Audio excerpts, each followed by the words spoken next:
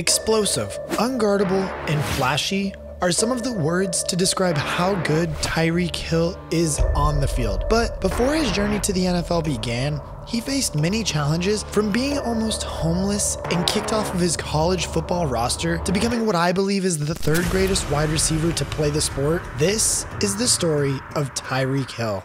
Hill's story doesn't start on the football field, but rather the track. Born to his mother, Hill was given full custody to his grandparents and raised by his grandmother Virginia and grandfather Herman Hill. Tyreek went on to attend Coffee High School and was most notably known as a premier track star, where he won both the 100 meters and 200 meters in the 2012 Georgia State meet. That is Hill running very well. We saw him run a U.S. leading time in the prelim. We'll see what he can pull off here.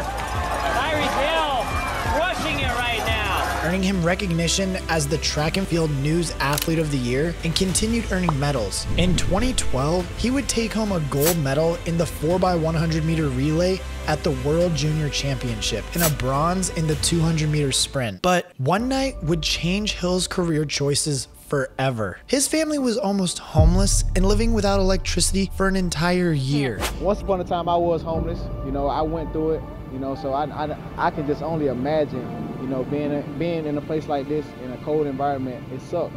And from that point on, he made a vow to never let his parents live like that again. But why couldn't this speedster land a scholarship with a big college? Well, for beginners, he was more of a track athlete, considering he was significantly undersized for D1 ball, being 5 foot 9 and 170 pounds or so. So he progressed to Garden City Community College. On the football field, his speed was unrivaled. I mean, the dude was so good, the coaches used him all over the field, out of the backfield, as a wide receiver, returning kicks, you name it, Tyreek could do it, and was now on the radar of some of the biggest names in college football, like Alabama, Texas, and Florida State. His decision would shock everyone. The number three ranked JUCO prospect would commit to the Oklahoma State Cowboys. And once in Stillwater, Hill picked up right where he left off. As a junior, he was a do it all kind of guy for the Cowboys and caught his first career touchdown against the Texas Tech Red Raiders.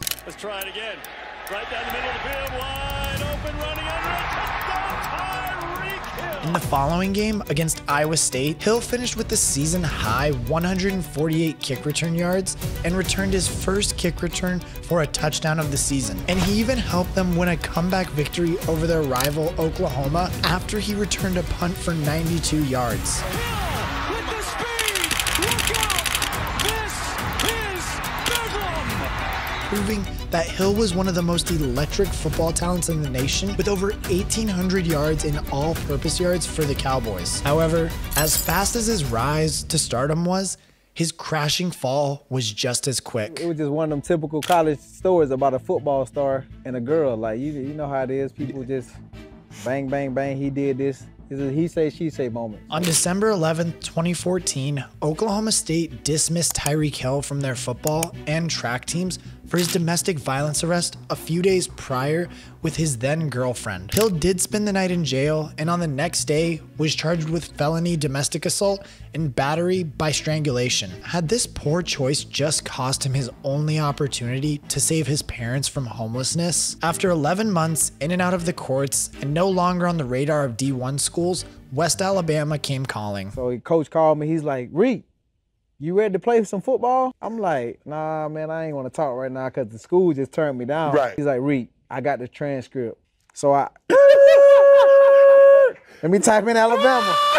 I'm four hours away. I'm on the way. So And after originally turning down Hill's request to play, head coach Brett Gilliland got to know Hill more personally, and Gilliland gave Hill the chance he needed to help his family. In his 11 games for the team, he never exceeded 100 yards rushing or receiving and averaged 135 all purpose yards. He even had a 307 all purpose yard burst against Delta State, where Hill absolutely took over. And while only playing one year in Division 1 football and all of his controversial off the field issues, nobody knew where to project this consistent and electric speedster. Some thought he may even be completely undraftable. And despite his good pro days, many teams had taken him off of their draft boards, except one team. Kansas City Chiefs select Tyreek Hill, wide receiver, West Alabama.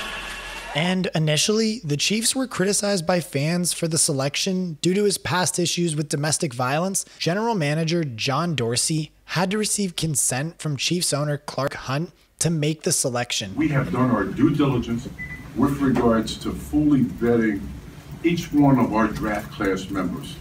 And with this case, we've done that. And at the moment, Chiefs fans may have hated that pick, but now I'm sure they miss having the third greatest wide receiver to ever play on their team. With Tyreek now signing a four year, $2.5 million contract, he could follow through on his promise he had made his parents to never let them live like that again. But what nobody knew is that this was merely just the tip of the iceberg of Tyreek's NFL career. In his rookie season, he joined the Chiefs primarily as a punt return man and was showcasing just how fast he was and even achieved rare feats of having a kick return, rushing, and receiving touchdown in one game, which hadn't been done since 1965 by Gale Sayers. Nobody would be able to catch him as he chucked up the signature deuces on the field as he dusted opponents, but also to the negative comments of the Chiefs drafting him. Finishing his rookie season with an impressive 61 receptions, 593 receiving yards, 6 touchdowns as a wideout, and it didn't stop there. As a runner, he had 24 carries for 267 rushing yards and 3 touchdowns, but earning him the nickname the Cheetah, and as a rookie was invaluable, proving that his Pro Bowl and his All-Pro first team selection as a rookie weren't just luck. He had earned this overcoming many hurdles throughout his life, and in 2017 would make the leap from just being a gadget and return specialist to transform into an elite wide receiver the league had never seen before. And shout out to my friend Mason who gave me this video idea in my Discord, which you guys can join and could give me ideas for upcoming videos. So make sure you join up. But me and my friend always have this conversation, and this dude Tyreek is literally the fastest human being to any point on the field or anywhere you can imagine. Like, I'm convinced this dude could beat any athlete you name to any spot on the field. That's just how godly Tyreek's speed is. And I even put him ahead of Moss and behind Jerry as the second greatest wideout ever. The leap he made from 2016 to 2017 proves it. In the season opener, he had his first 100 yard receiving game and caught a touchdown. But in the coming weeks, would score an impossible end of the half touchdown versus the Cowboys that left everyone speechless and was on highlight reels for weeks. He managed to finish the 2017 season with 75 receptions for 1,183 yards and 7 touchdowns. But if you thought he was good then, 2018 is when the Patrick Mahomes era began, and the two would have a special connection. When y'all drafted Patrick Mahomes, what was your thought after you watched him that first week in training camp? I thought it was trash. I ain't gonna cap. and in the season opener, Hill picked up right where he had left off, starting with a 91 yard punt return for touchdown, throwing up the deuces two more times in that game, where he had 170 yards receiving and two more touchdowns. The tandem looked unworldly, and just when the lights began to shine brighter, Tyreek only got better. In the legendary Monday night game between the Chiefs and Rams, where absolutely no defense was played that night, Hill had 10 receptions for 215 yards and two touchdowns. And if you think that's a crazy stat line, just wait, because in 2018, his stat lines only got crazier, proving how good he was. While leading the league in 20 plus and 40 plus catches, finishing up his best season yet with 87 receptions and 1,479 receiving yards and 12 touchdowns. Although the Chiefs were eliminated in the AFC Championship game that year, 2019 would be the year the Mahomes to Hill connection would terrorize the NFL. But no matter how fast he was on the field, Hill couldn't outrun more off the field issues he faced. child abuse against Kansas City Chiefs wide receiver Tyreek Hill and his fiance.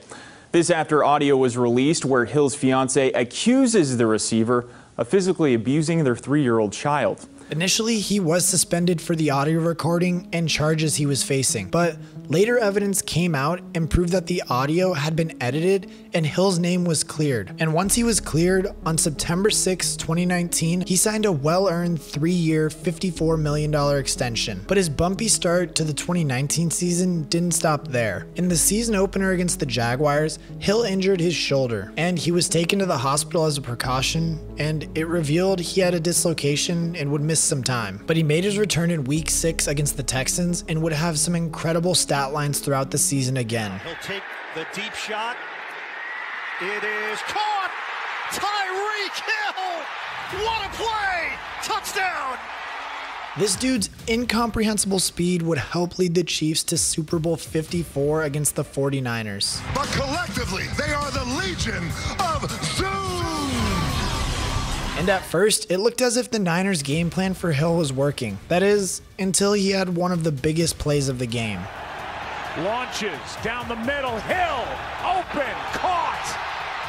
and helped the Chiefs win their first Super Bowl in 30 years. And just when you thought the dude couldn't have anything crazier happen to him, his stat lines only managed to get crazier. In a Week 11 Super Bowl preview versus the new look Bucs and Tom Brady, Tyreek reeled in 13 passes for 269 yards and 3 touchdowns, helping the Chiefs get the Week 11 dub and the Chiefs get the coveted one seed in the playoffs. In the divisional round against the Browns, he had 8 catches for 110 yards and only got better in the conference championship game against the Bills. But the Super Bowl was a different story. In a rematch versus the Tom Brady led Bucs, only allowing Tyreek to get 7 catches and held him to under 100 yards, which not many teams had been able to do. But the Bucs did and it paid dividends, helping them breeze by the Chiefs in a 31 9 victory. And coming into a contract year, Tyreek knew he would have to have a special type of year if he wanted a contract extension and made sure to put the league on notice in week 1